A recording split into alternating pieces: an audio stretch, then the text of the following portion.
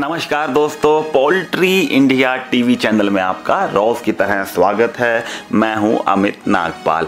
बहुत सारे ऐसे लोग जानना चाह रहे हैं जिनके पोल्ट्री फार्म नहीं हैं कि हम इस काम को शुरू करना चाहते हैं और कहीं उन्हें पता लगता है कि बहुत फ़ायदे में है ये बिज़नेस और कहीं उन्हें पता लगता है कि बहुत नुकसान में है। जी हाँ आपने सही सुना है।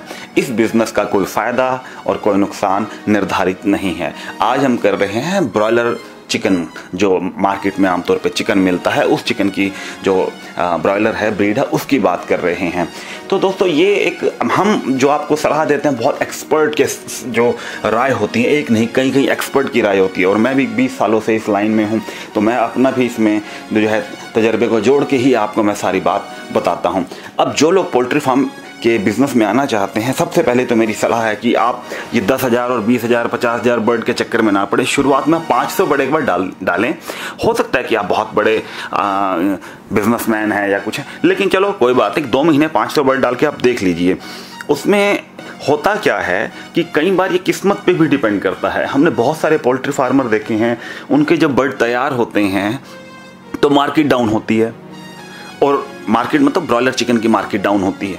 तो उनका बर्ड तैयार हुआ मार्केट डाउन हुई, वो अपने बर्ड को रोक भी लेते हैं, उनका वज़न और भी बढ़ा देते हैं, जिससे फिर मार्केट नहीं उठी तो और भी बड़े नुकसान में चले जाते हैं।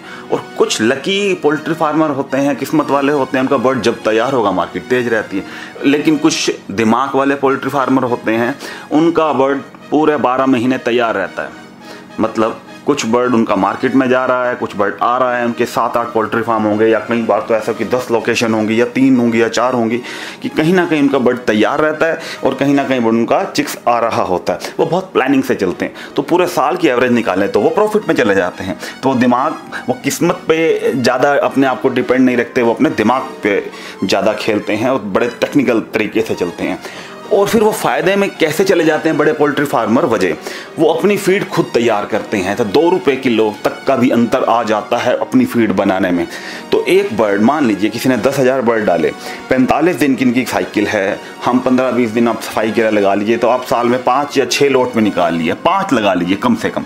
तो पचास हज़ार बर्ड आपने एक साल में तैयार किए, और एक बर्ड एवरेज तीन किलो फ़ीड भी अगर खा लेता है तो आप लगाए कि एक बर्ड पे छः रुपये का अंतर आ गया। और आपने साल में डाले पचास हज़ार बर्ड तो तीन लाख रुपए का अंतर तो ये प्रॉफिट प्रॉफिट कहा जाता है। तो बड़े पोल्ट्री फार्मर दस हज़ार बर्ड दस हज़ार बर्ड कोई बड़ा फार्मर नहीं माना जाता, लेकिन दस हज़ार बर्ड भी अगर आप डालते हैं एक साल में पाँच लॉट तो भी तीन लाख रुपये का अंतर तो आपको इसमें अंतर आ जाता है फ़ीड में। और चिक्स भी आप जब बहुत ज़्यादा लेते हैं तो उसमें भी आपको रेट डाउन मिलता है, फिर धीरे धीरे और भी कंपनियाँ आपके, आपको प्रपोज करती हैं तो धीरे धीरे आपका प्रॉफिट बढ़ने लगता है। तो इसलिए हमेशा माना गया कि बड़े स्तर की पोल्ट्री फ़ार्मिंग फ़ायदेमंद है। तो आज, लेकिन जो नए लोग आ रहे हैं, आज का मुद्दा सिर्फ़ उन्हीं के लिए ही है कि आप एक काम करिए, शुरुआत करिए 500 वर्ड से। क्योंकि मैंने ये भी देखा है कि कुछ लोगों ने पोल्ट्री फार्म खोला, उनको प्रॉफिट भी हुआ लेकिन वो काम पसंद नहीं आया। बोले, नहीं, कई बार में सुबह उठना पड़ता है कि सुबह एक दो बर्ड मरे हुए देखे, फिर डॉक्टर के पास भागना पड़ता है। तो इसलिए आप क्यों ना नुकसान क्यों उठाते हैं? पाँच सौ बर्ड से शुरू करिए।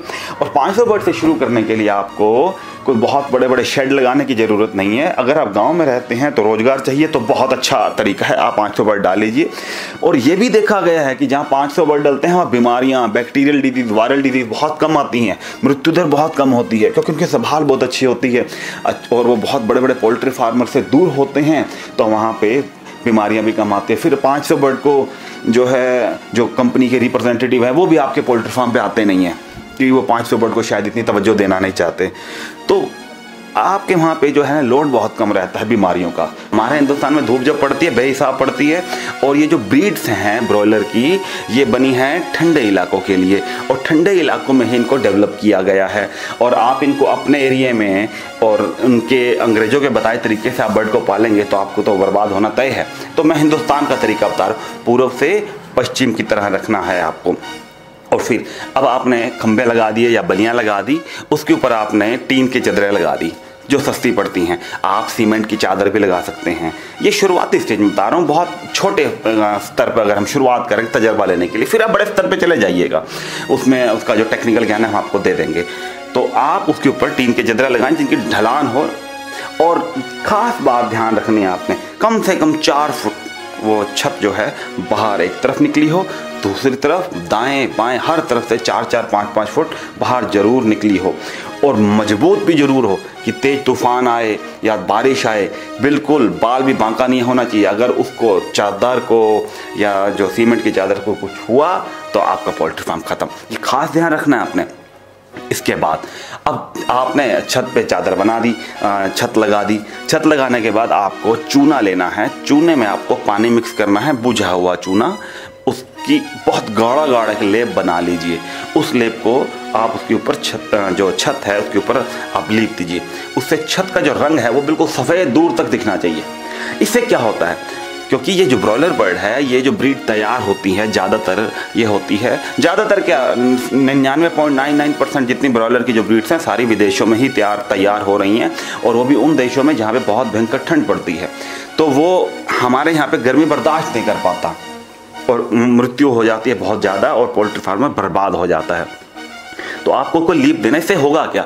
ये जो सफ़ेद रंग होता है, सफ़ेद रंग से जो सूर्य की किरणें हैं, वो उसको अपने में अवशोषित नहीं कर पाती, वो तो छत गर्म नहीं होती, ठंडी रहती है। अब वो आपने एक सफ़ेद परत बना दी, उसके बाद आपने इसके ऊपर जो धान की कटाई होती है या गेहूँ की कटाई होती है, जो अवशेष बच जाते हैं, वो आपने छत पे डाल देना है और इस तरीके से उनकी बंधाई कर देनी है, बाँध देना है कि वो उड़े ना, उसके साथ चिपक जाए और उनको गीला कर दीजिए। क्योंकि वज़न हो जाएगा तो भारी भी हो जाएँगे। इससे छत रहेगी बहुत ठंडी ठंडी और जब ठंडी ठंडी रहेगी तो बर्ड आपका मृत्यु दर ना के बराबर होगी। तो ये काम आपने कर देना है। अब उसके बाद, खास बात, जब आप बर्ड डालेंगे तो अपने पोल्ट्री फार्म पे ये आपके जो पोल्ट्री फार्म पे बहुत सारे मित्र आते हैं, दूसरे लोगों से मिलके पोल्ट्री फार्मर से, या जो कंपनी वाले आते हैं, पोल्ट्री फार्मर्स के साथ मिलकर उनके पोल्ट्री फार्म से होके आते हैं, या बहुत सारे कुत्ते आते हैं, इन सबको अवॉइड करना पड़ेगा। मैं ये नहीं कह रहा, ये बहुत हमने भी पोल्ट्री की कंपनी में काम किया है, लेकिन हम एक बात पहले डिसाइड कर लेते थे पोल्ट्री फार्मर्स को फ़ोन करके कि, सर, हम आपसे मिलना चाहते हैं। वो कहीं ढाबे में मिल लेता था, या अपने घर मिल लेता था। तो इससे क्या होता था कि कहीं हमारी वजह से, क्योंकि अगर हम किसी डॉक्टर के साथ गए और पूरे पोल्ट्री फार्म पर हम सारा दिन घूमें तो वहाँ आपको बीमारी है तभी तो हम डॉक्टर के साथ गए। तो वहाँ के जो बैक्टीरिया और वायरस हमारे शरीर पर लग जाते हैं। फिर हम किसी पोल्ट्री फार्म पर जाके इसका नुकसान क्यों करें? ऐसे ही कई बार हम जो लोग हैं, गलती कर देते हैं हम पोल्ट्री फार्मर। हमें किसी को भी मिलने का वक्त देना है, अपने घर में दें या किसी और जगह, अपने पोल्ट्री फार्म पे नहीं देना है। और कुत्तों का तो मैंने आपको पुरानी वीडियो में डाल ही दिया कि वो किसी फार्म पे जाएँगे, वहाँ से मुर्गे खा के आएँगे, बीमारी वाले मुर्गे खा के आएँगे। कोई ऐसा तो है नहीं, कोई ताज़ा मुर्गा उनको फ्रेश जीवित डाल देगा कि खाओ। तो ये ध्यान रखना है। अगली वीडियो में हम आपको देंगे पोल्ट्री फ़ीड के फार्मूले। उसमें आप दो रुपये किलो पर केजी बचा सकते हैं। अगर आपके बर्ड ने एवरेज तीन किलो फ़ीड खाया है या चार किलो खाया है तो पाँच छः रुपये से लेकर आठ रुपये आप पर बर्ड बचा सकते हैं। इससे होगा क्या? आठ रुपये पर बर्ड बच गया। दस हज़ार बर्ड अगर आप डालते हैं तो अस्सी हज़ार आपको दो महीने में बचने ही बचने हैं। और साल में लगा दीजिए तो आपको पाँच लाख एक्स्ट्रा और अगर आप एक लाख बढ़ डालते हैं तो पचास लाख एक्स्ट्रा तो ये बड़े बड़े जो पोल्ट्री फार्मर हैं, ये ऐसे कैसे कमा लेते हैं? छोटे पोल्ट्री फार्मर ही हमेशा नुकसान में जाते हैं क्योंकि वो फ़ीड बनी बनाई लेते हैं और उनका सारा शोषण तो फ़ीड मिल वाले ही कर लेते हैं तो वो बचा नहीं पाते। आने वाली वीडियो में डिस्क्रिप्शन बॉक्स में वो फ़ीड के फार्मुलेशन डाल देंगे। आप वो ज़रूर देखिएगा। अब बात रही चूज़ा और फ़ीड कहाँ से लेना है। देखिए, शुरुआती स्टेज में तो मैं आपको यही रिकमेंड करूँगा कि आप वेंकीज इंडिया लिमिटेड से ही संपर्क करें, क्योंकि उनका स्टाफ पूरे हिंदुस्तान में सबसे बड़ा स्टाफ है। वो लोग आपके थोड़े चिक्स को भी अटेंड कर लेंगे, आपके थोड़े फ़ीड भी आपको लेना होगा, तब भी आपको अटेंड कर लेंगे। लेकिन अगर आप सोचेंगे किसी और कंपनी से टाइप कर लें या किसी और से फ़ीड ले लें 500 चीज़ों के लिए वेंकीज इंडिया लिमिटेड के अलावा मुझे नहीं लगता कि अच्छे तरीके से आपको एंटरटेन करने वाला है। ये कंपनी के एम्प्लॉय भी बहुत ज़्यादा है, इनकी सर्विस बहुत अच्छी है, इनकी लेबोरेटरीज पूरे हिंदुस्तान में फैली हुई हैं, और ये फ़ीस भी नहीं लेते इनकी लेबोरेटरीज में। अब आगे आने वाले वक्त में पता नहीं ले लें, मुझे नहीं पता। तो आप 500 चूज़े भी ले लेंगे 500 बर्ड का फ़ीड भी ले लेंगे, वो आपको पूरी गाइडेंस भी देंगे, उनके डॉक्टर्स भी आपको गाइडेंस देंगे फ्री में।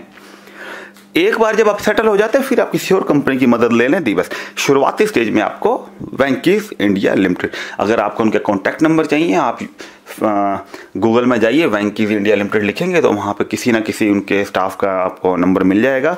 और आप जिस एरिया में रहते हैं, जिस ज़िले में रहते हैं, वहाँ से, वहाँ का नंबर आप उस व्यक्ति से ले लें। तो इससे आपको बहुत फ़ायदा मिलेगा। कल फिर मिलते हैं ब्रॉयलर और अंडे के रेट के साथ। बहुत बहुत धन्यवाद।